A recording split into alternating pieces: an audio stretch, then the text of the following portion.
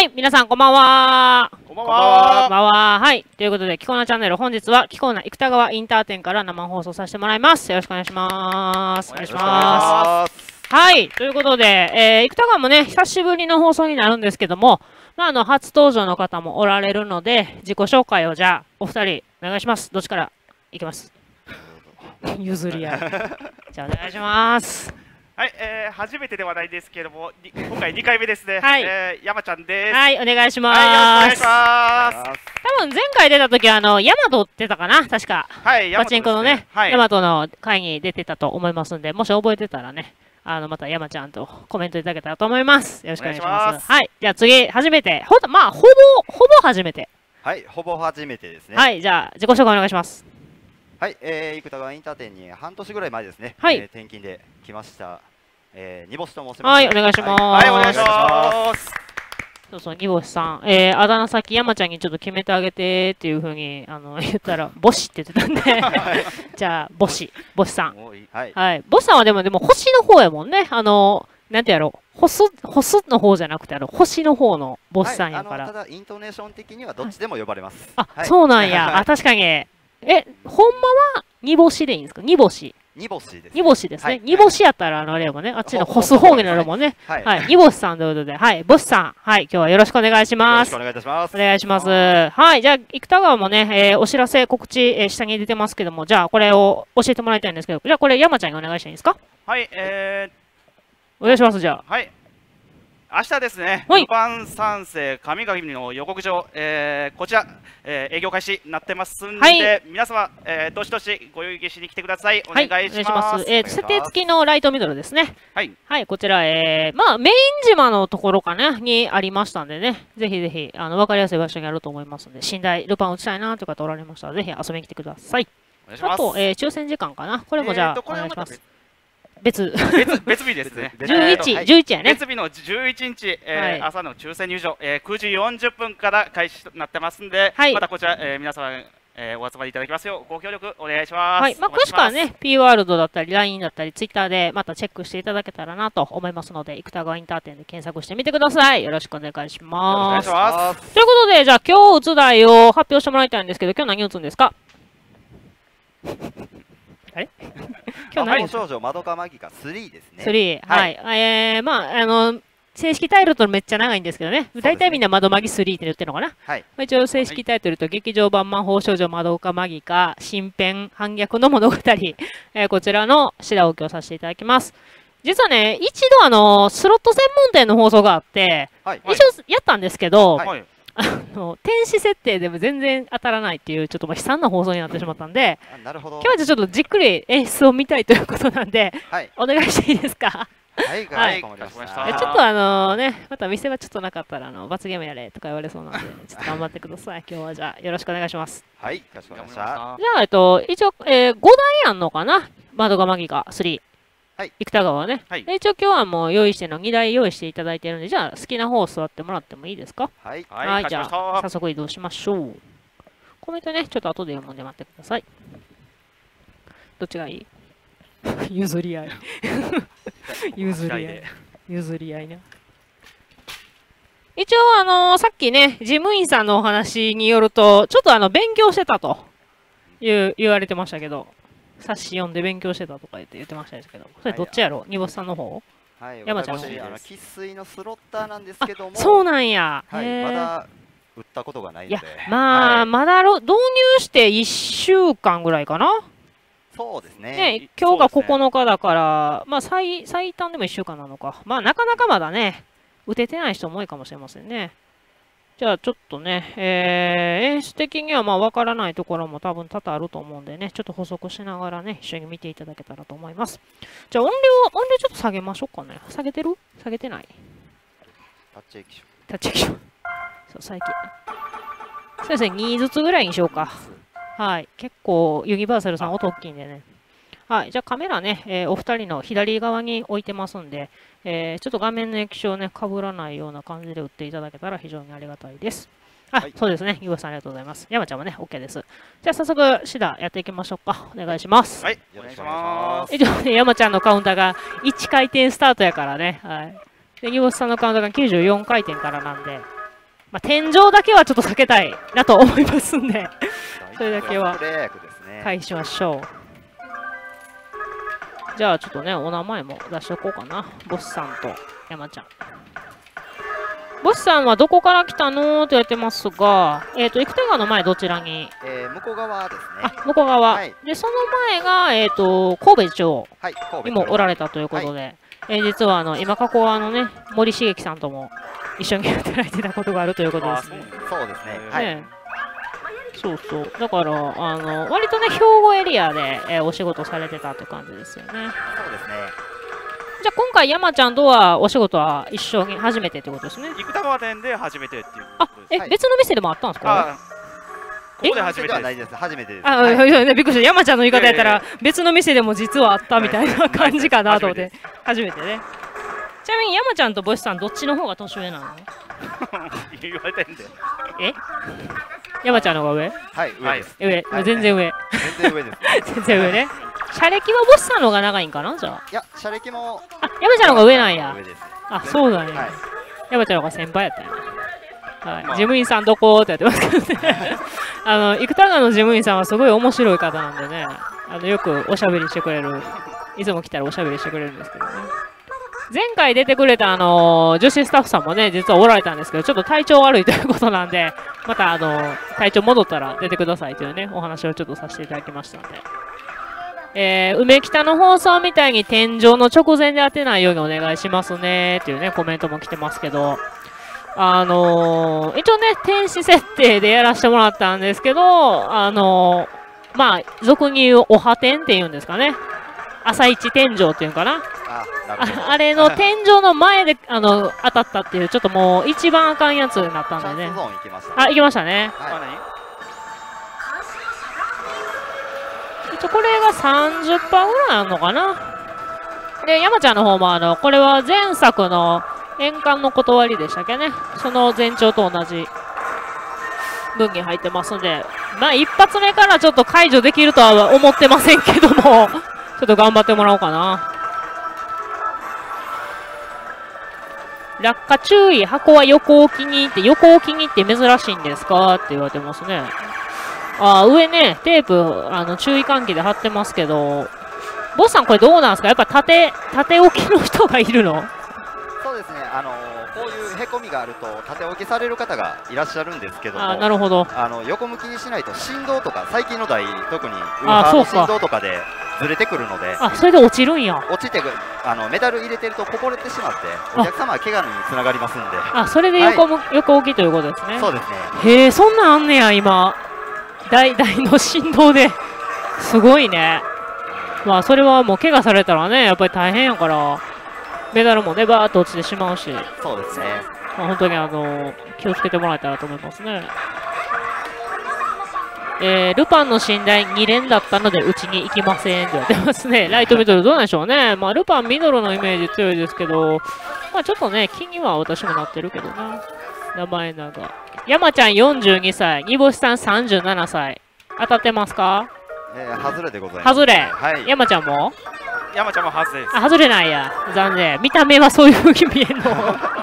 まあまあ、お父さん感すごいよね、それやったらね。二人とも年上に見られてるんちゃう？そうですねあじゃあ、今の年齢よりはまだ下やと。なるほどね。言い過ぎやって言われた。はい。えー豊橋から来ました。でね、ありがとうございます。仕事しておきの悪口はそこまで。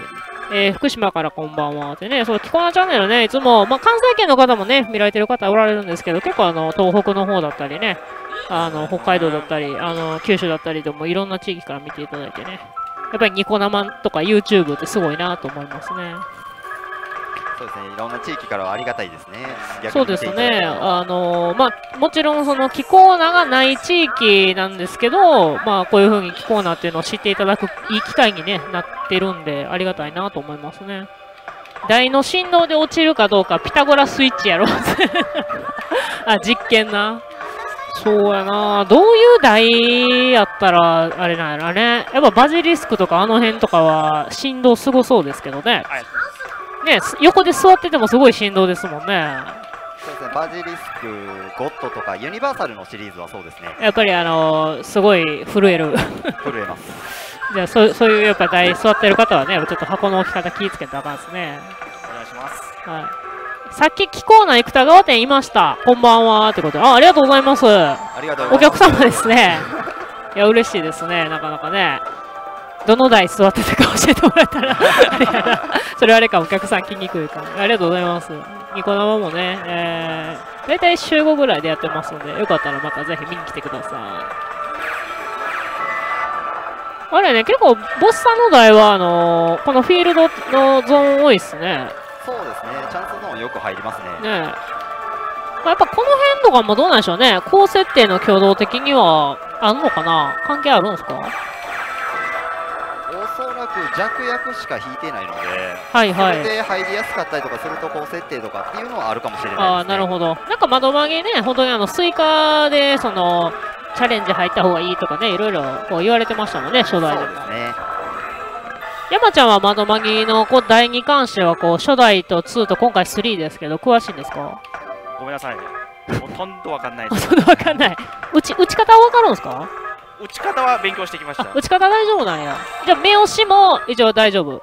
はいあ、大丈夫なんや。なんでそんな自信なさそういう。僕自分の目押しはできるんですけどお客様に目押しするのが苦手なんですあー、なんでですか？やっぱちょっとプレッシャー感じます？いや多分ずれるんでしょうね年のせいで年のせいな。ボスさん、年のせいな、それ。なんかプせいなんですか？ププレッシャー感じてねとかいうのはありますけどね。あ、また記憶の回路入りましたね。なんかボスさんの方はその、何やったっけ、遮断フィールドの方よく入るけど、山ちゃんさんの方はだよね、回廊、この回廊のステージを入るね。時はまだ1回も入ってないですよねねボスさんはみ、ね、あの、回廊の方入ってないもんね、記憶の回廊。まあもうね、窓曲げも結構 SNS ではこう、丸一日打って、こう、どんな感じだったっていうなんかコメントとかも結構見ますけどね。実際は、まあ、生田がもね、5台ありますけど、やっぱお客様、朝一から座られる方多いですか？そうですね朝一から粘られたりとかあとは夕方でまた人が変わって、うん変わる変わるああ、なるほどい。ただいてるイメージですねなるほど。まあもちろんね、やっぱね、初代とか、やっぱ2に比べたらやっぱ6号機なんで、またちょっと性能も変わってきてますから、ちょっとね、あの、思ったよりって方もおられるし、まあ、こっちの方が面白いよっていうなんかね、コメントとかもいただいてたんで、まあ、その面白いところをね、この短時間で見せれたらちょっといいんですけど、そうですね。山ちゃんが一応あれかな、これ、演出入ってるから、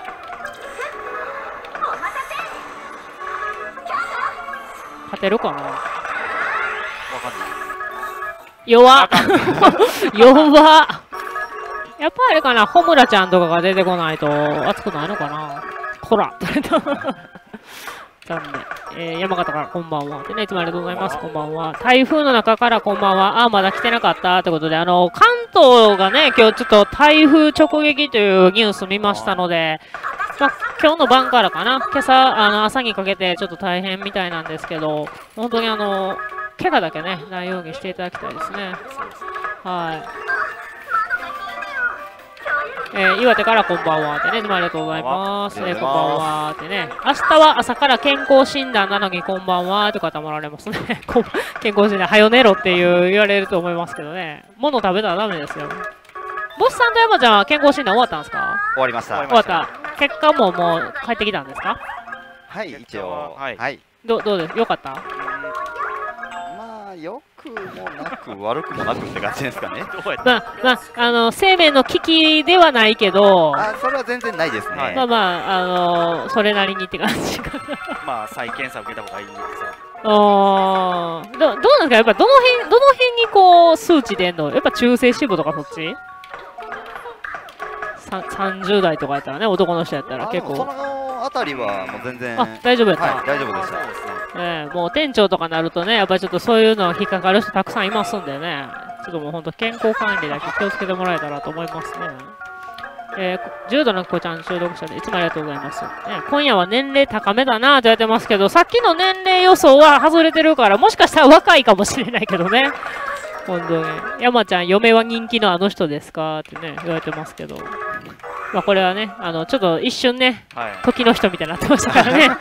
違う山ちゃんの方がね山ちゃん違い。ですはい。そうそう。煮干しさん、え煮干しさんね。で、どこら辺に多い名字なんですか？えーっと明石の方ですかね明石なんや。はへえ。初めてでもね、あの、見かけた方も多いと思いますけど、ね、そんな演者さんもいますよね、というね、コメントもありましたけど、煮干し翔太さんやったかな？そうですね。ね同じ。T シャツにも確か書かれてるはずなのでよね。はい。同じ、あの、多分漢字やったと思うんで、もしかしてあの方も明石かもしれませんね、じゃあね。そうですね。どこかでなんか親戚同士がつながってるとかはあるかもしれませんね。名字が本当にかあのちょっと変わっ珍しいというかね、そうですね。なかなか見かけない名字なので、私はもうすぐ暴風域ですよってね、えー、言われてますね。1時間だと相当きついぞ、頑張れということでね、あ、窓マギか。1時間やっぱきついんや。まあね、放送後見ていただけるように、やっぱ点設定入れたりとかはするんですけどね、なかなかブログ後期は、あのうまいことこう、朝からパーンってね、演出も出たらいいんですけど、そういうこともないことも多いからね、結構難しいんですけどね。ダシさんってね、ボスさん。ダシさんじゃない、ボスさん。はい怪しいね。赤色の制服珍しいですねってコメントもね、いただいてますけど。まあ、ポロシャツ、これはあれかなえっ、と、アンダーツリーさんの30何周年の時になんか着てはったんちゃうかったかな。ね、赤のポロシャツ。まあ、あの、生田川店もね、あの、着てる時もあるということなんで、まあ結構店でね、使われてる方多いですけどね。ポロシャツやっぱ動きやすいですよね。そうですね普通のあの、肩シャツよりはなんか動きやすそうなイメージありますけどあね全。然こっちの方が楽ですね汗かいてもね、あんまり気にならないですよね。あの、普通のやっぱ、なんやろ、制服やったらやっぱちょっとね、気になるよね。二人は誰に反逆したいですか？反逆反逆、反逆ということはなんかされたっていう体のあれやけどね。どうやろう？ボスさんはまあ今まで店長、これで3人目になるんですか？一緒にお仕事をされてる方は。いええー、とそうですねえー、と長い間働くっていうので見ると、はいはい。3人目になるんですか三人目ねはいどうですか？一番癖のあった店長とか。あこののその質問自体、はい。あんまりな名前出せないやつじゃないですかね。いや、あの、西の方の人とかね。まあ、ボスってあれか、えー向こう側おられたんやったら、あのーあれかな、鈴木店長とかも一緒でした？あそうですね。ね、はい。あの、市場7店に今いる、はい。あの、嘘くさい笑顔の店長と、で、今、加古川にいるね、あの、白豚の店長と、で、今のね、あの、生田川の、えー、伊豆谷店長かな。まあ、あとあれか、滝本店長も一緒やったんですかね。竹本店長とはい。あと,、えー、と神戸中央最後ちょろっとそっかだけ小林店長かはい小林ピッコロさんねはいどうですか？まあ、まあ、じゃあ、まあまあ、あれなんですね。面識はあるということなんですけど、癖が、癖が強い。癖が強いええ出し出てるのは加古川の店長かなと思いますけどね。まあまあそうですねねえ、はい。まあ、相変わらずもう、あの、成長してますけどね、体はね。はい。刺激の悪口って言われた。そうそうそう。関西はメガネの店員さん多いねって言われてますけど、そうかなメガネ多いかなまあ、山ちゃんはね、今日はメガネ枠ですけどね、貴重な。はい。お家からこんばんは。そしてこんばんは。ね、ありがとうございます。ありがとうございますあ、ニコ生のね、広告もいただいてありがとうございます。どんどんね、放送広めてください。和骨、えー、煮干し翔太くんは加古川の出身です。ってことで、あ、じゃあやっぱあれか、加古川とやっぱ明石近いから、そうですね、まああの西側が多いみたいですねやっぱそう、そうなんや。ありがとうございます。えー、あなたの番です。反撃編最終回はあんな終わり方でした。続きあるのかなと言われてますが、お二人あの、穴番っていうね、これ、あの、略言われてますけど、ドラマとかは見てます？穴番は見てない？と時々見てる感じですかねその毎週しっかり見てるというよりは、まあ、やってたら見るみたいな。はい一部の方は見たんですけどあの反撃編の方は見てないですねそうなんや。はい一応ね、今日さっきかな、ちょうど最終回終わったとこなんかな。これどうなんやろ？あの番見てる人おったらあれやから、ネタバレしていいかどうかはちょっと確認取ってね。私はちなみにあの番は見てないから、あの、ネタバレしてもらっても全然どっちでもいいんですけど、あの、もしね、楽しみにあのされてる方もおられるかもしれないから、その辺はちょっとね、あの、マナーを持ってあげてね。はい。天井まで行かんといてなーって言われてるからね。いや、ほんまにわからんよね。福島からこんばんは。ねわからないですねこればっかりはねえー言った通りに押したら当たるのに頼んどいて自分のテンポで打とうとするからっていう、ああ、あれやね、さっき山ちゃんが言ってたあの、お客様のやつをこう、お手伝いするときに怒られるとかやつね。まあ、それはな、しゃあないよな。はい。タンパクが出るのが対外的にやばいです。なるほどね。どっちも悪口言って大丈夫ですよ。あの、嘘くさい笑顔の人とあれか、言い出し出てる加古川の店長ね。はい。えー、煮干しって聞いて、あぼしの仲間かと思いました。当たりましたかね？おー、やったえあと？こはいーいやー、やっと、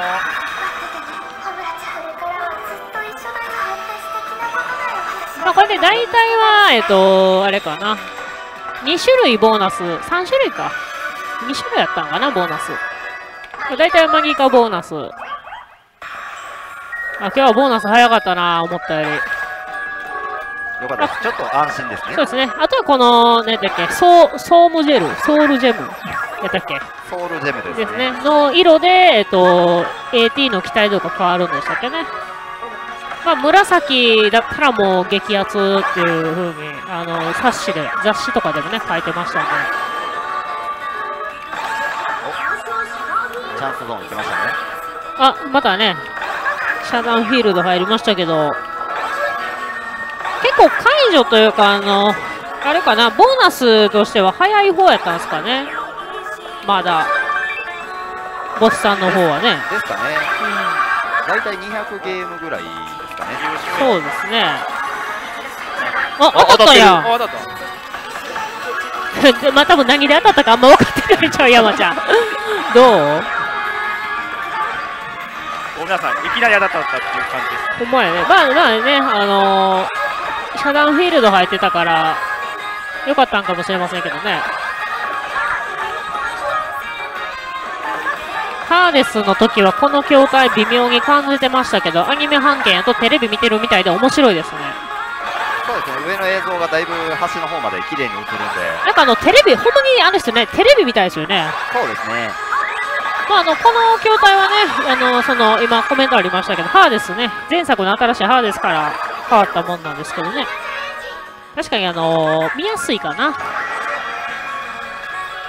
さあ、これでボスさんの方は青、黄色、黄色なんで、期待度としてはそんなに高くないのかな。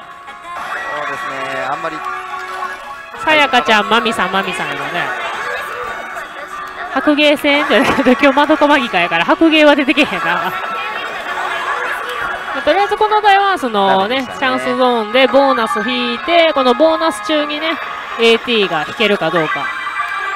まあ、紫色のこの分が出れば激アツっていうことですね。それだけ覚えておいてもらったらいいかな。この液晶のすごいところは、回り込んでる部分まで液晶なところ。確かあの角ね、ねあの、そうそうそう、そこまであの、綺麗にしてんのがすごいね。この台は初日に別のパチ屋で売ってきましたけど、15台中1台もグラフが良くなかったけど、グラフに出づらいのかなーって言ってますね。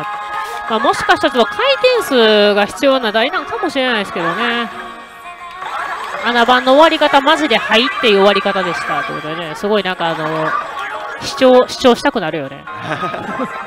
あ、山ちゃんは赤、青、黄色。信号？ちょっと入れ替わってた信号やね。赤はね、一応30%ぐらいあったんかな。まあ、このもしかしたらその並びとかも法則あるかもしれませんけどね。おーおお入ったやんうわ、一発で入ったすごっ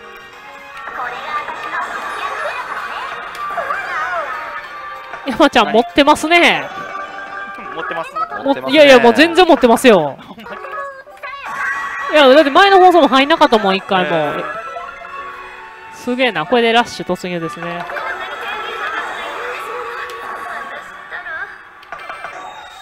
じゃあ、ここからは、山ちゃんの出番になりました。見せ場は作りましたね場作りました見せ場はえー、京子は子役引ければ入る感じですね。あこれで、えー、キコーナチャンネルの関西版の放送としては、えー、初めて入りました、ラッシュ。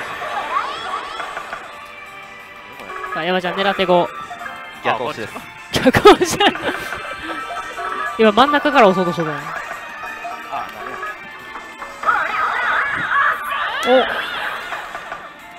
お。どうなんやろ。そう追ってないから分かれ。目が目があれやったら。これあれでしたっけ？差枚数管理でやったしたっけね。そうですね、3枚はい数管理に変わってますね。えー、目星がバカバカやないかちょっとプレッシャーかかったかもしれん。なんでスキップするマジチャレ全部成功で悪魔ホムラが出るんかな？ーってね130枚ってどうなんやろ？普通平均ぐらいなんかな？山ちゃん明日はパチンコスロット打ちに行かない方がいいよ。確かに。あのニコ生でねいい調子の人って次の日打ちに行ったら絶対負けるんですよね。さやかとマミは霊薬引かないと厳しい気がする、ねリゼロは一撃のでかいグラフか描きやすいけど窓曲げはもんだグラフを徐々に上げていくっていう題かな。そうですね。まあちょっとリゼロとはねゲーム性が違う感じがするのでリゼロはね結構一撃乗せたら大きいイメージは確かにありますよね、リゼロは順号も早いので、そうですね。京子は4回押してその合計なのに。最低が100枚。山ちゃんもしかして全く仕様を理解していないって言われたけど、あんまり大知らないって言ってましたね。ちょっとだけ冊子読んだぐらいって言ってましたね、さっきね。そうですね。まあ実際その冊子とかね、雑誌読んで、まあ動画見たりして、こう、なんとなくこう感じはつかめるかもしれないですけど、結構ね、打ってみんとわからんことも結構ありますからね。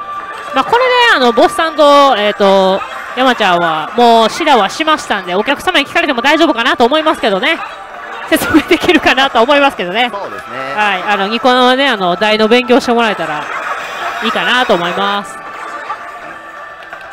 京子の上乗せの見せ場だったのに、さっきの。あ、4つね、ボタン押すやつね。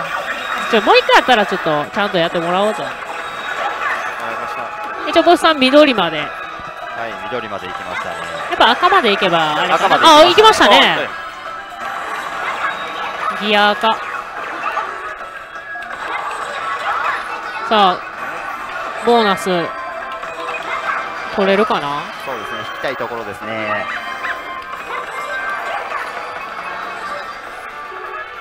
タイトルは青文字そのままか。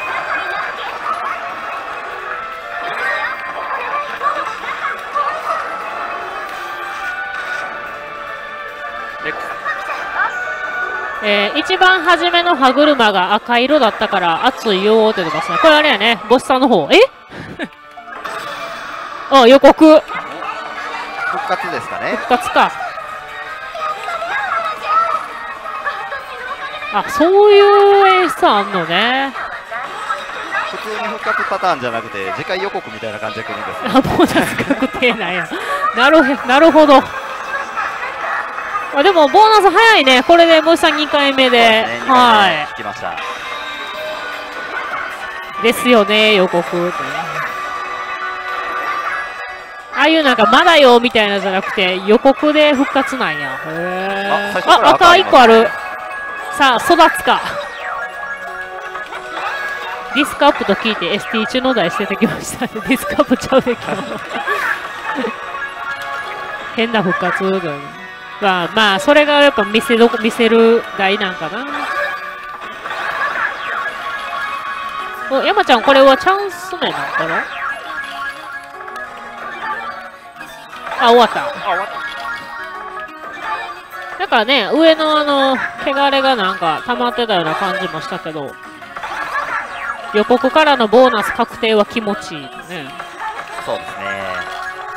今までになかなかないパターン。そうです。ね、今までやったらほんまにあの、復活であの、キャラシャキーみたいなのが多かったと思いますけど、あ、黄色に変化しましたね。や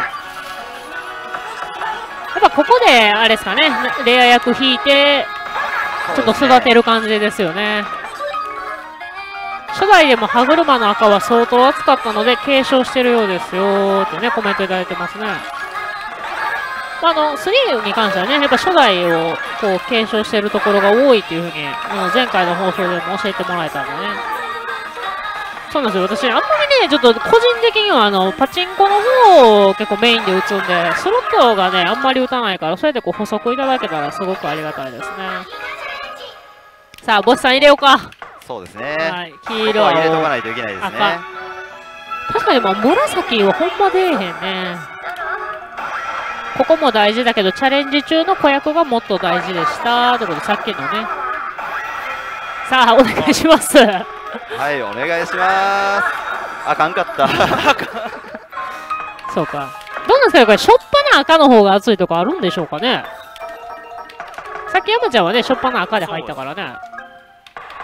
さあ、もう一回、もう一回、チャンスゾーン入れてボーナス入れよう。まあでも1時間の間にまだね、30分ぐらいやけど、まあ、スタートダッシュかなり良かったんで、ちょっといいとこ見たい。まあ、上乗せのあの、何やったっけな、くるみ割りやったっけとか、ちょっと、ほむらちゃんはちょっとなかなかね、出んの厳しいかもしれませんけど、そうですね。ここで何も弾けない人は全く何もできないです。やっぱ、ごもっとも、ごもっともです。力の入れ具合があそこ、あそこやぞってことやな。さすがに店員さんでも稼いだ給料を法律お返しする人ばかりじゃないでしょうって言われてますけど、案外ね、あのスタッフさん、下手くそな人多いですよ、本当。はい。まあ、やっぱりね、あの、最近はだいぶ少なくなりましたけど、うんなんだかんだ言ってね、こう、我々と一緒で、こう、パチンカス、スロッカスの方も多いですからね。そうですね。はいボスさんもどっちがやったらそっちですか？ちらかというとそっちなんですけども、ほうほうまあ、ディスクアップとか、あああいうリーチ目系が結構好きなので、あ、そうなんや。は期待値やな。じゃあディスカップ得意ですか？い、ディスクアップめっちゃ得意です。あ、なんか、なんなんやろ？結構ね、最近ディスクアップ得意な人、よく聞くんですよね、スタッフさんとかで。でじゃあもうビタ押しも、もう結構いい感じで。は7割、8割はいけます、あすごいねすごいなんなんやろ？もうちょっとディスクアップ選手権、気候なでやったら、スタッフさんちょっと腕、腕、見せれる人ちょっと集めてね。山ちゃんはうちに行くんでしたっけ？いや僕正直そんながっつり打ちはないですね。もうたまにちょっとフラッと打つ感じ？あもうそんそんな感じですね。ちょっと時間が空いたりした時に。あー打つとしたらパチンコなの？スロットなの？あ僕パチンコですね。パチンコやったらさ最近やったらどんな台打つんですか山ちゃん？あでもあんまりわかんないんで僕海とかしか打たないです、ね、あーまあまあシンプルだしね。エースもそこまで変わらないですもんね。そうですね。海はもう基本一緒ですからね。ねえ。まあでもそれが安心感をね与えますよね逆にあの海で一種二種混合機とかだったらちょっとドキドキしますもんね。すごい世界観になってしまう。確かに。京子で山ちゃんはベル弾けてたからやれたんかな。ああそういうことか。子役ねいい必要って言ったもんね。えー、カレーヌードルうまいねということでこれ多分カレーヌードル今食べてるのかな。羨ましいな。なんかあのこの間ねカップヌードルのなんか投票みたいなのをなんかで見ましたけどやっぱりあのカップヌードルの醤油味かなんかがあれかな1位かなんかやったんかなまあベタですもんねで、その次がシーフードとかやったかな。で、3番手がなんかカレーヌードルかなんかやったんですよね。やっぱね、日清のカップヌードルはないと困るよな。7割ってね、はサポートが7割みたいな。ディスクアップはバー狙いですか？青7狙い赤7狙いどれですか？とやってますね。えー、っと、赤7とバーのローテーションですね。ああ、なるほど。赤7とバーのローテーション。いや、それはもう、なんかちょっと変化をつけて打つってこと？あ、チャンス目かな？チャンス目ですね。はい。あの赤7とかバーとか固定で打っちゃうと、どうしても同一のリーチ目ばっかり出ちゃうので、あ、なるほど。それ面白くない？はで、たまにちょっと違うのを狙いながら、い、そうですね。ディスクアップ楽しんではる。そうか、ディスクアップもね、やっぱ目押し、ディスね、ビタ押しできたらやっぱね、楽しい、面白そうですけどね。そうですね。楽しいですね、あれは。どうですかね、結構あの、キコナチャンネルのユーザーさんは、あの、パチンコのユーザーさんが結構多いんですけど、なんかこう、目押しとかそのビタ押しの上手になるポイントみたいな、あります？ボスさんは。どうなんでしょう。もう、目押しとかもそうですけど、はい全部色が見えるかどうかとかっていう感じになってくるんじゃないですかね。、リールを見ろと。そうですね。見つめろと。リールを見つめて図柄が見えるまでっていうやつまあ、ですね。れんまあ練習ですよね。確かに。ビタってなんかね、ほんと、まあ、その、リールのリズム感でこうできる台もあれば、本当に狙って押さないとダメなね、台もありますから、難しいよね。そうですね。この台は上げ上げマックスですか？今日はね、一応、ま、えーあれかな、天使設定なはずですけどね。前回はちょっと残念ながら、あの、設定わかんなかったんでね。はい。まあ、今日は一応出だしが良かったんで、天使設定かなと思います。関西仕様のカップ麺、東北の人間から言わせてもらうと薄すぎるっていうね。あ、そう？あ、まあ、確かに関東の方が出汁濃いもんね。そうか、関西は、まあ、濃いのもいけるけど、あやっぱあれぐらいはちょうどいいかな。どん兵衛とかね、味違うっていうもんな。ありますよねお、山ちゃんまたチャンスかな。お、赤文字。チ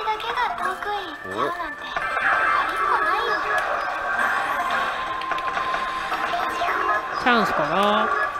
えー自分はディスクアップはバー狙い一択ですっていうね、方もおられますね。完璧求めないんだとしたらタイミング押しでもいいかもしれませんね。ねまあ、その、機械割りというかね、あれを上げようと思ったら、ビタ押しいりますけどね。お、当たった？あだっ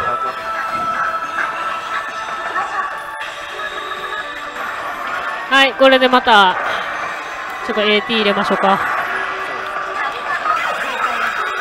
あ、ボサノもね、緑まで。そうですね。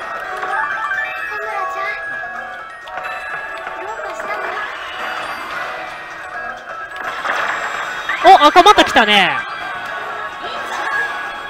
山ちゃんは、このチャレンジ中強いんかなスロット打たないからちゃいますビギナーズラック？チャンス目いけるぞってね。ごつもりの塩焼きそば食べるか。ええなあモードが悪いなーって言ってますね。ビタ押しできないからディスクアップ打てないっていう人がいますね。あ、チャンスゾーンに行きましたね。あら、前兆から。途中で引いた追加ですかね。さあ解除できるかな山ちゃんは黄色、赤、黄色。お、レア役。いけましたね。お、いけか。あ、レインボー。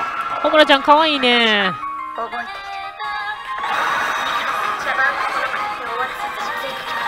さあ、一応山ちゃんがね、今赤がいるから、若干、チャンスかな。紫とかね、やっぱ見たいけどな。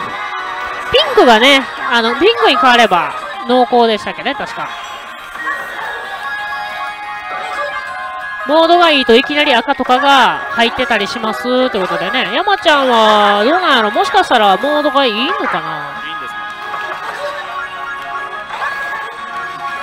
ジャグラーやったら中段に7狙えば大体成功すると思います。押すの早かったら上段に止まるし、遅かったら下段に止まる。ジャグラーでもじゃあ練習しようと思ったらできるのかなえー今年のどん兵衛企画どの店舗になるか楽しみにしてますということでね。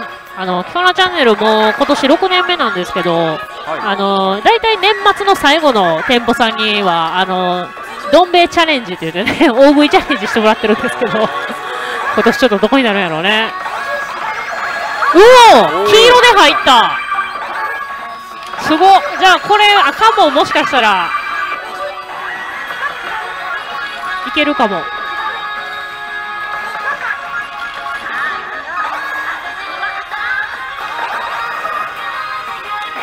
赤は赤かったんやあでも入入ってた。すごい。モードがいいで、通常青青青、モードがいいは青青赤だったりします。いきなりレインボージェムとかあるんでしょうかねってね、質問来てますけど、どうでしょうね。まあ、確定はあの、まどかの色、ピンク色らしいですけどね。紫のあの、ホムラちゃんのカラーがむちゃくちゃ激アツらしいですね。山ちゃん、マミさんで当たって赤で外すんかいって言われた。なんなんやろうね、あれは。一応、ボスさんも赤おりますけどね。レインボーはないです。ありがとうございます。あ、入ったよしよしよし、二人とも。どうやろうな500枚ぐらい欲しいよね。一回ね。青、黄色、赤、紫、ピンクの順番です。あの、期待値です。期待度ですね。えー、山ちゃんが100枚。ちょうど平均ぐらいですね。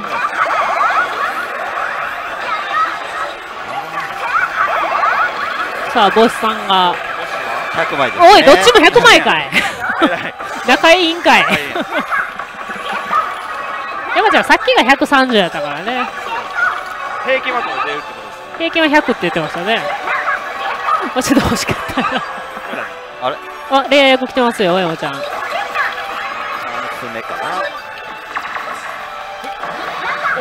おおいや、すごいの、のしたね。行きましたねこれ2個成功すればボーナスは特化ゾーンでした。あー、じゃあさっきの赤欲しかったな。でも山ちゃんまたね、降格中かなチャンス目で200。すごいね。とあれやね、山ちゃんの台がすごくよく見えるよそうですねね。同じなはずなんだけど。チャンス目からの煽りですね。別媒体でも見たけど、やっぱ映像が綺麗。ね。すごいね。技術革新ってすごいね、ほんと。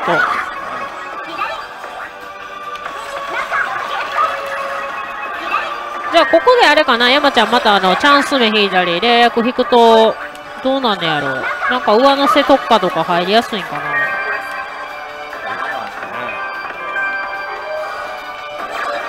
ちょ、山ちゃんの方チャンスやな。1回での上乗せは500枚が最高らしいですよ。すごいな。500乗せがマックス。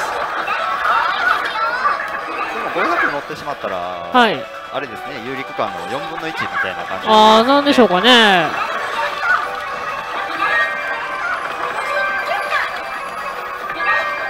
なんか SNS かなんかでその有利区間とね、その非有利区間の関係で、汚れがなんかリセットなるならんみたいななんかコメントあったんですけど、あれどうなんやろな。ちょっとあんまりね、意味がわからへんかったからあれなんですけど。あ、山ちゃん、さっきのが400枚やったら悪魔ホムラで取れました。なるほど。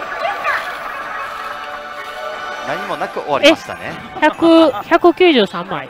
多分あのボーナスの分もあなるほどでもそのまま駆け抜けた。はい駆け抜けましたねまあ、山ちゃん200枚乗せてるから、もしかしたらね、ここでまた、上乗せあるかも。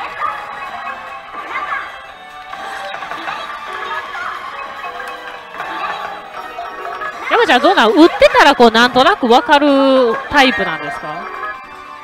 あー打ち込まないとでもわからないですねまあ、そうだね。まあまあね。ゲームフローはなんとなく分かった感じですか？なんとなくですけど、はい。あこれが熱いんかなみたいなのあ、悪魔ホムラで400枚出たってことね。ありがとうございます。あれ、なんか人によってはね、あの、くるみは、くるみの演出の方がいいとかね、言う人もおったけど、やっぱ悪魔ホムラちゃんが一番いいんかな。上乗せ特化ゾーンがどれぐらいのものかっていう感じですねですねやっぱ。り一応ね、3段階ありましたよね。初窓とか、はい窓2とかがやっぱ強かった分ああ、なるほど。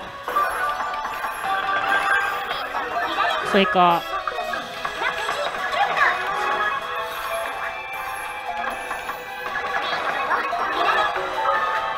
スさんはスロットを打つっておっしゃってましたけど、この6号機、リゼロだったりとかは打打つんですか？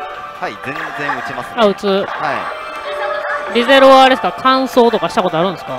えー、乾燥自体は多分34回ぐらい。あ、あるんや。はい。へー。最高枚数って大体どれぐらいなんですか？リゼロって。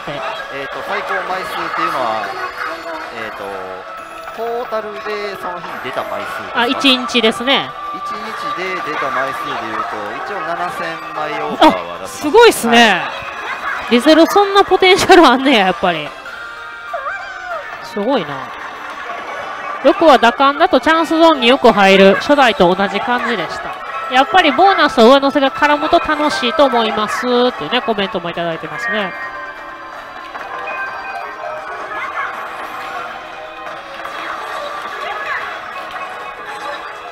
さあ、こっからね。まあ、と、設定したのね、画面とかは、やっぱ AT 終了画面とかに出てくるそうなんで、まあ、全員集合だったり、ね、ま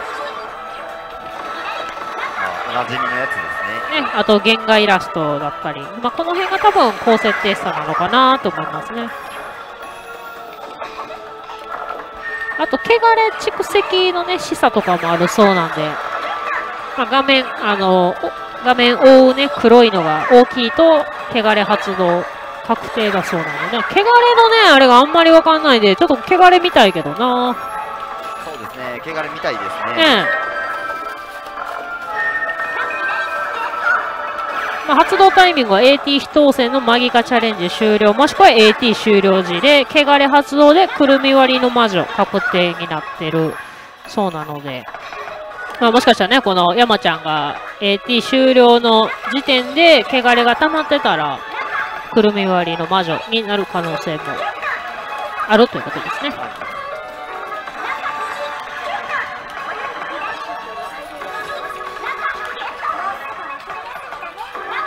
ツイッターに上げとけばよかったか。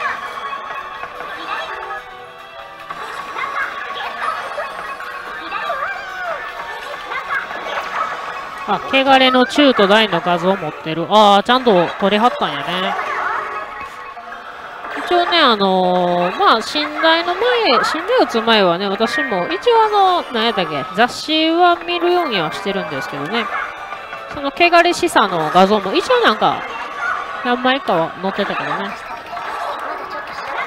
えー、高設定6示唆の時に中央にいる白髪の少女って重要人物なんですか？今回ね、あの、キャラクターがもう一人。そうですね、追加で入ってますね。いるんですよね。これ確かな、なぎささんって、なぎさちゃんっていうんやったかな？そうですね。なんかセリフとかもあれなんかな？結構、いいセリフを喋るんかな？こう設定したとかあんのかな？そうですね、歴代のやつと一緒で、セリフとか、はい。あとは、その、画像、画面に出てくる、そうですね。画面で設定示唆があるみたいな話は聞きましたね。そうそう、このなぎさちゃんっていう子が何者なんかね、ちょっと私もわからないんだけど、映画に出てくる子ではないのかな？ただのこの、なんていうの、台だけに作られたんか、もうそもそもいてるんかが、そこからのものわからへんからな。で自分も汚れ発動見たことないから見たい。そうですね、もしあるとしたら、このね、AT 終了後にワンチャンあるかもしれませんけど、まあ、もしかしたらね、その汚れの溜まり具合だったり、モードとかでも違うかもしれませんね。あ私たちの戦いって394枚。終わった。お終わっ終わった。当たった。おお 終わったにねって言われてる。何経由なんですかこれ？えっと、回廊なんで、全あなるほど長経由ですね。ボーナスは早いなやっぱり。ボ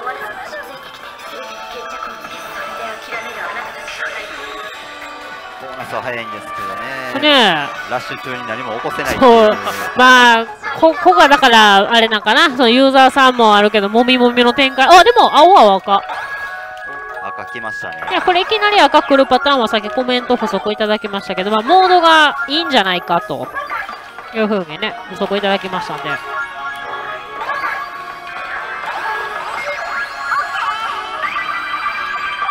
モード上昇。汚れ解放してくるみ割りいったけど、4連で終わりました。ねちょっと引きがあれやったね。早い当たりじゃない。そうですね、全然ハマってないもんね。81ゲームで当たってるからね。お、赤。ない、なんもない。なんもない。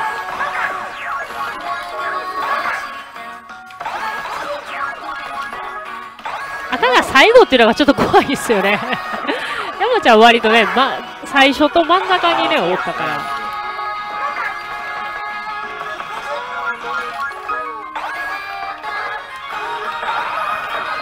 あとはまあ、まどかのね、ピンク色になれば AT 確定なんですけど、複数個ね、まどかになれば得点ありということになってますんで。まあ、2人以上返信すれば得点ありということで、さっきね、コメントもいただきましたけど、2人返信したらボーナス1ゲーム連か上乗せ特化。3人とも返信成功すれば悪魔ホムラゾーンに突入ということなんで、すごいね、これね。そこで子役引けばいいのですよ。通常時は、えー通常モード、チャンスモード、悪魔モードがあるそうです。なるほど。もうこの辺でちょっと当たっときたいな。そうですね。2人とか見たいね、確かに。あああ、ああって言われた。ああ、あかんかった。赤とは。ここでまあ、汚れがあれかな。なんもなかったね。引けてない。引けてない。難しいですね。いや、まあでも、あの、こんなもんじゃいます。もしかしたらユーザーさんの方がもっとやれるかもしれません。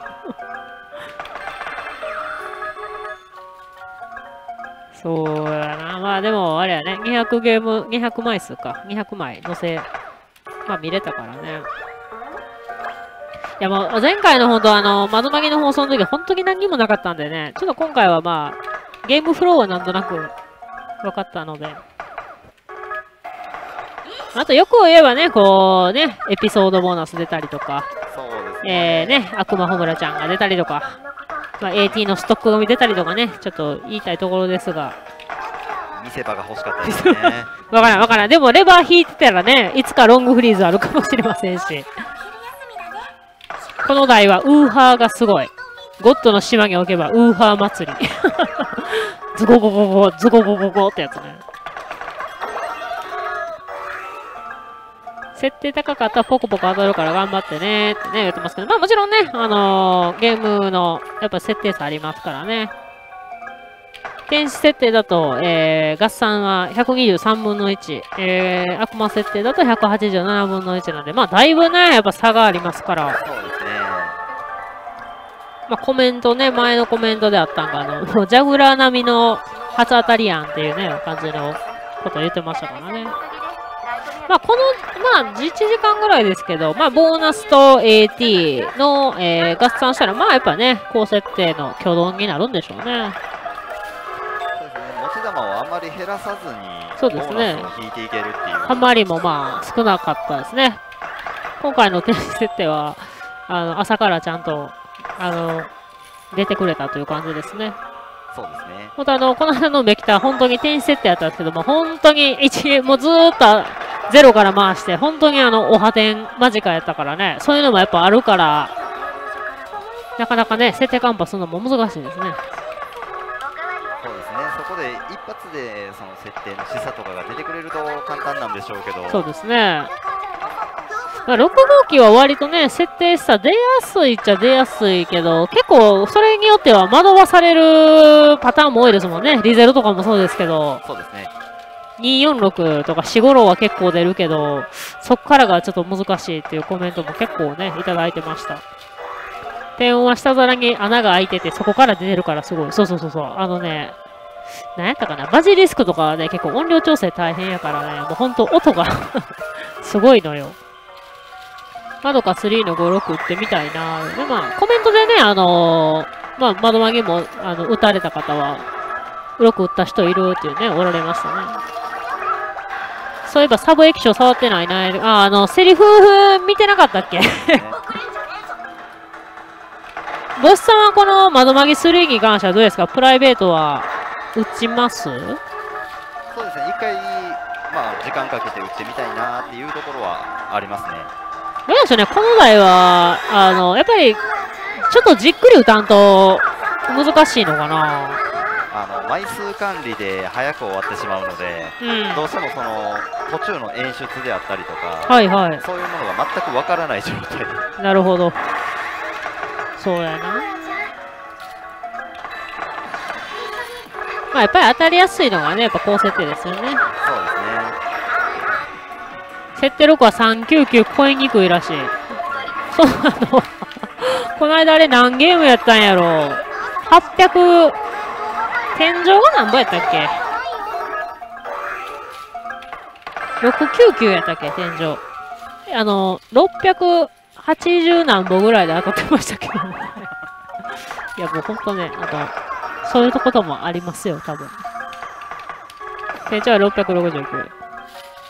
あの、あのね、スロット専門店の梅北店っていうのがあるんですけどね、そちらで一応、あの、うえー、窓マギと、対話ギと、あの、信頼のね、シダしたんですけど、窓マギに関してはちょっと天井手前まで行きましたからね。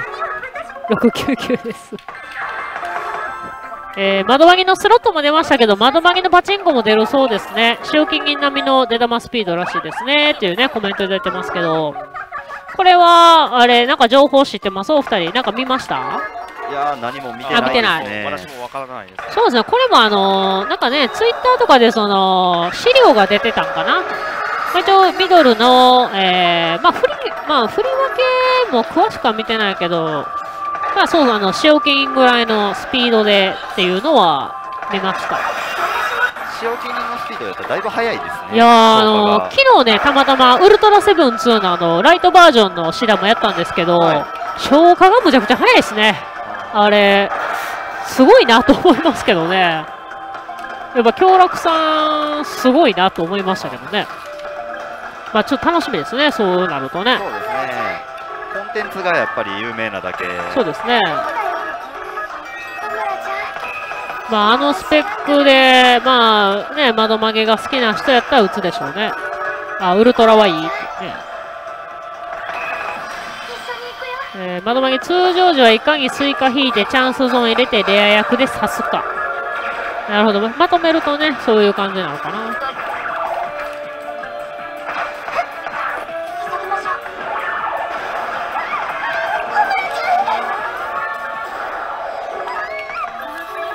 残念。残念。今一応、えっ、と、山ちゃんの方が121ゲームかな。で、ボスさんの方が93ゲーム。一応これ何やったっけな？あの、なんかあったね、ゲーム数の。チャンスゾーンに入りやすいゲーム数やったっけ？ことを気に70から80とかそういうあ、そうそうですね。そうそうそうそう。下2桁が、えー70から99で発生するのが基本なんですけど、この、えー、とゲーム数以外で前兆が来たら直撃 AT に期待ということなので、そうやな、下2桁やったら、一応、じゃあ200まで回しましょうか、お二人ね。はいはい。多分そこぐらいやったら前兆も終わってすぐぐらいやと思いますよね。窓マギも楽しみやけど、日暮らしも開発中らしいでね。日暮らしもね、人気あるもんね。境地連打。山ちゃん、その後、蒼井優さんとの新婚生活どうですか？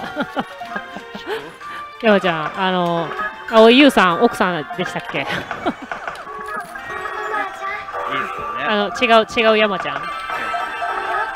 山ちゃん、なんかこう、好きなタイプの女性おられるんですか？タイプの女性。うん。この窓マギやったら誰がいいですか？ちゃんは京子ちゃんと一緒に住んでるんだよねああ、どうなん微妙ですね。微妙な？ん どうなんやろ？大体このあれかな？黒髪のホムラちゃんが好きっていう方が多いんかな？なんかちょっと気強そうですけどね。山ちゃん、これ熱いよーっていうね、コメント来てますよ。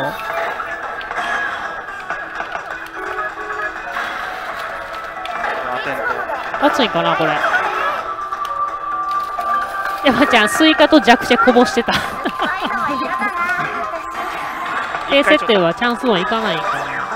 行くけど、まあ、入りにくいんかな。でもチャンスゾーンの一応ゲーム数は決まってるみたいだからね。境地引いたのにチャンスゾーンも何も起こらなかったことがある。どうなの？ゲーム数って書いてたけどね、今雑誌でもね。だから70から99の間。山ちゃん、これ熱いらしいけどどうなんだろうね。演出的にはそんなに熱くなさそうだけどね。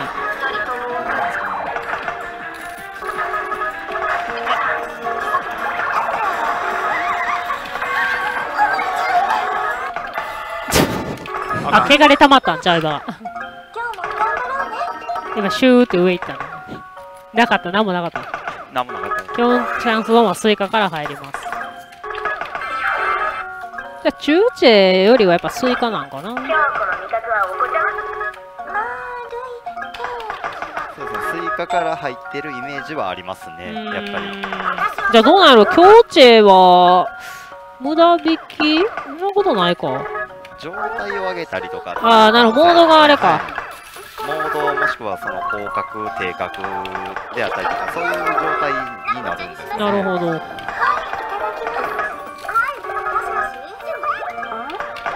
あー、間違えたらごめんなさい。ええね。この辺は情報共有できたらいいかなと思います。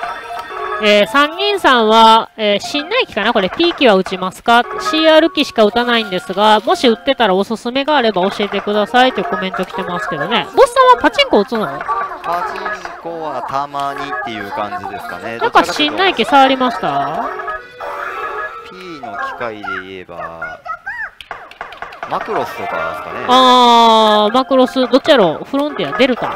いやフロンティアですフロンティアの方。はいえーと、あれかな？ラえ、あれでもあれか。ミドルは CR か、あれ。ライトミドルが P になるのかな？どっちやったっけ？なこれマクロスは打った。信頼やったら、まあ最近の信頼やったらマクロスを打った。えっ、と塩気にも打ちましたねあ、賞金銀。は賞金運はどうでした？良かったですか？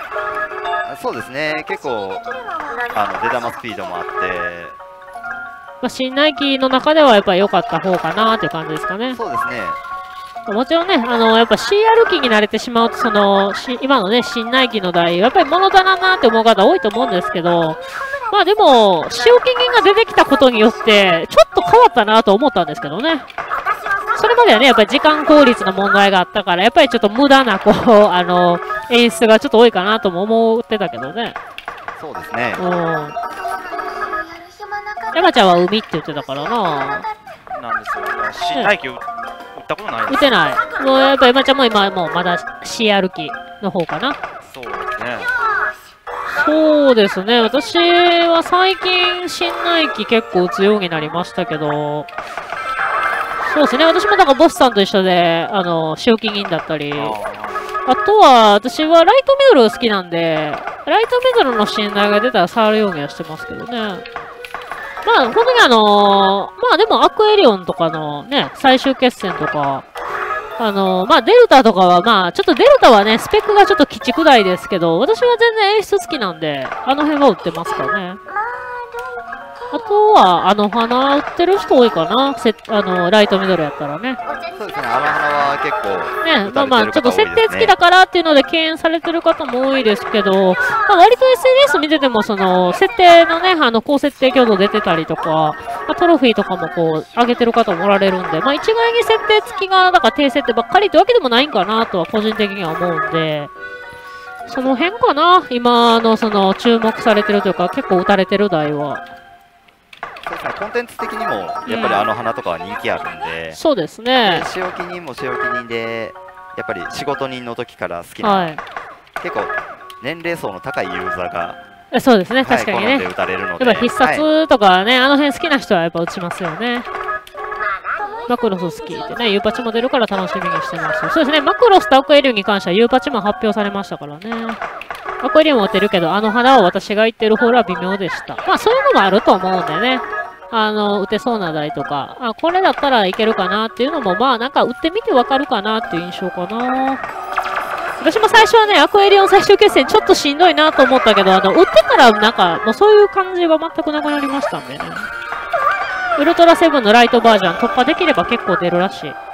あの、昨日ね、ちょっと放送でシェアさせてもらったんですけど、はいあの、ライトバージョンに関しては、ほんとあの、北斗無双のね、あの、無限盗覧みたいなイメージで思ってもらったらいいかなと思いましたね。結構、やっぱ突破するまで大変やけど、突破したら本当にすごいなっていう印象かな。あ、ボシ君チャンス目来てたね。はい、チャンス目とスイカ引きました今じゃあ、もし、こう、チャンスゾーン入ったら、あれじゃないかな。直撃 AT の可能性高いんじゃないかな。もうね、一応ゲームに関してはもう今200なので、もう70から99は過ぎちゃったからね。ボシ君、それ熱い。あ、ボシ君ね、それ熱いって言われてますね。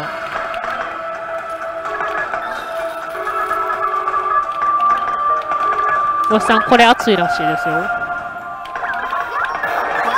そうですね もう見るからに演出が違いましたね 違かったやっぱりさっきのあれかな、チャンス目かな。やっぱね、高設定ほどやっぱその、あれに、中順と、あの、あれよね、従順というか、そのままの感じで現れるのかな。ホムラの部屋にあるギロチンみたいなのが出ると熱い。あああの影みたいなやつ、さっき出てたね。最近はライトミドルの日暮らし、叫びばっかり売ってます。それかもそう。まあ、これもやっぱりどっちか、どっちまではね、CR キーになりますもんね。そうですね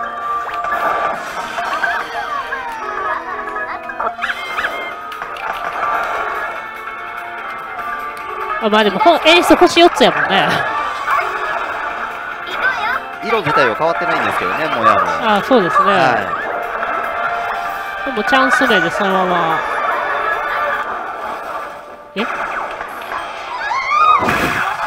そういうこと？い普通の復活もあるんですねそういうことね。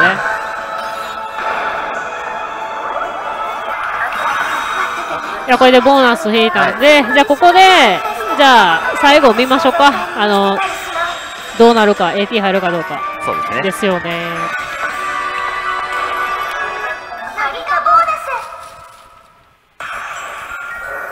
青ですね全部 じゃあモードはあんま良くないんかもね。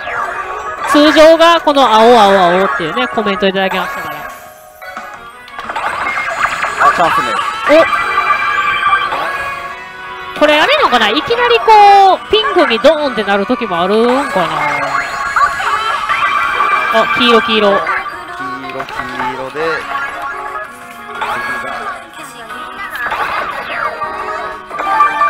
ちなみにここで特殊薬引くと全部ピンクになります。おあ、赤までいいったよ。あ、なるほど。じゃあ、中チェとか、ここで引いちゃえば、あれなんや。全部ピンクやったりするんよ。そんな引きあるかさすがにあと9ゲームで弾ける気はしないですいやーすねごいよね、それ。それだったらすごいよな。ヒル暮らしの ST 中、レナにいつもビビらされてます。怖いね、あれね、ヒル暮らし。ボシ君頑張って中って引いてくれ。通常でも引いてないのに。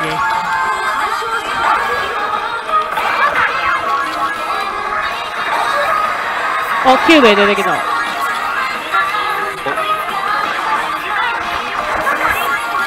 やってたあかんかった。やってもうたよ。あーって言われてキュゥべえチャレンジそうそう、キューベチャリ入れよう入れよう。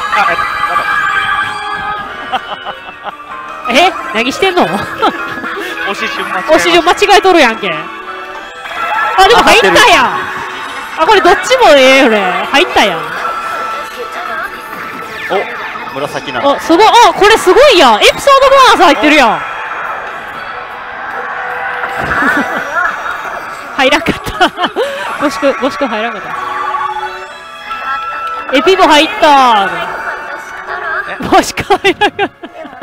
2000年あの、多分山ちゃん分かってないよね、これ。食べたかっただけなのでえ、陣押ししたら当たるんかいって言われた。あれ、引いちゃったね。ボシ君が引か引きたかったやつ引いちゃった。え エピソードボーナスは40ゲーム継続。消化中は AT の枚数上乗せ抽選。エピソードボーナスに当選すると AT 確定します。ボーナス中は成立役を参照して枚数上乗せ抽選が行われ、レア役は成立、上乗せ確定。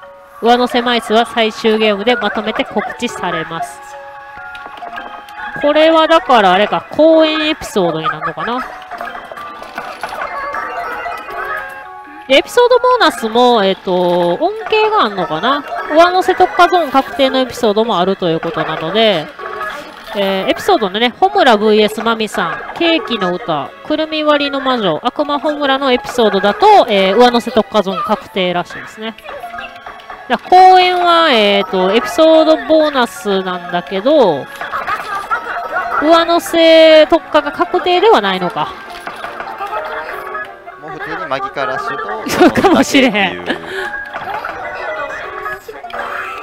放送炎上やなって言われた。まあまあ、そうやな、ええとこやからな。その、それ引く確率すんごい低いんだよって言われましたよ。ええの引いたね。まあ、あのちなみに、エピソードボーナスね、あの、引くの、まあ、あこえー、点設定だと3640分の1。えー、てえー、点設定ね、悪魔設定だと7221分の1。うんほんまにレアなん引いたね。そんな激レア引いて放送ここまでって言わないで。ね俺最後の最後で引くってどういうことな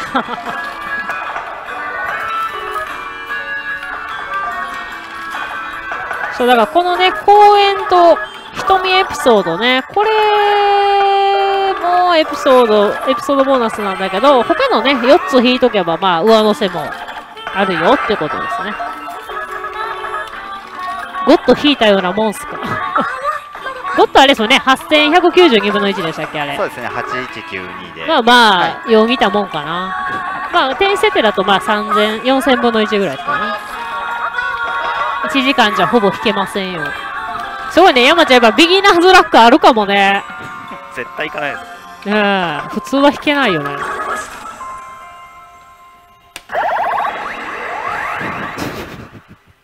まあの、うんリアクションに困りあ、ます。ねえ、いいの引いたけどどうなのこれちょっとしょぼく感じるの気のせいね。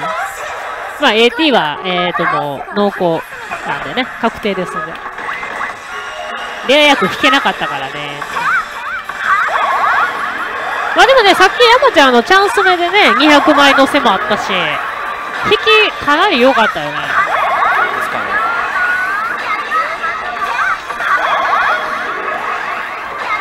どうするじゃあここの初期ゲーム数だけ見て、ゲーム数や初期枚数か見て終わるか？そうですね。あとはね、もう自力になるから、100微妙はい、じゃあ、終わろうか。オールさやかかよって言われた。確かに、レア役ちょっと肝心なとこ引けなかったね。そうですね。はい、じゃあ、定位置戻りましょう。はい。はいまあでも最後、ええの見せれたね。よかったよかった。と待ってよ、じゃあ。じゃあ、ちょっと定位置戻ってもらって、じゃあまた告知もしてもらいましょうかね。もうあれやな、窓マギの放送してあれを見せれる自信はないな。はい、恩恵があるかもなのよ。はい、ということでお疲れ様でした。